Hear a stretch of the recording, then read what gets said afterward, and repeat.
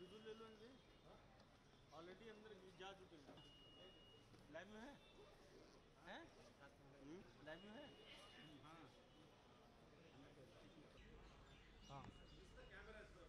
All right, we're moving across now to these fresh visuals coming in of Karti Chidambaram, son of former Union Minister P. Chidambaram, being questioned by the Enforcement Directorate in connection with the INX media scam.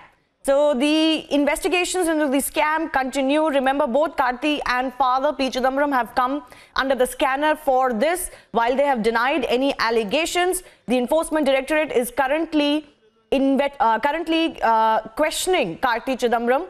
This is at the ED office, and my colleague Nalini is tracking developments. Nalini.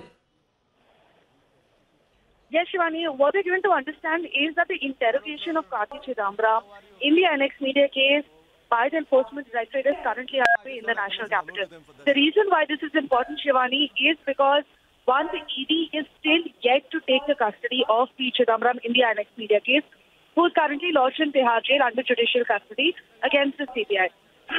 so, ED, it is very possible that ED, through this interrogation that is being done of Karti Chidambaram right now, might be uh, trying to make some strong link with P. Chidambaram's involvement regarding the FIPB approvals were granted in the media case because along with his son, P. Chidambaram and Karti Chidambaram are both the main accused in this entire case regarding almost 305 crores of illegal FIPB approvals that were granted.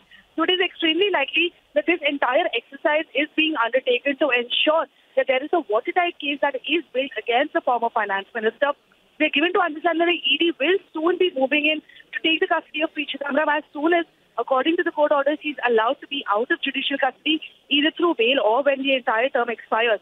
So it's going to be extremely, extremely important for them exactly mm. what they find out during this course of investigation that is that is currently underway with his son, who's also one of the main accused in the INX Media scam. Hello, sir. How are you? All right. So the investigating agencies uh, continue to pursue this uh, case. Uh, but remember, both Karti and P. Have been vehemently denying any involvement as far as impropriety in those FIPB approvals are concerned. Nalini, thanks a lot for the moment. We'll keep coming back to you.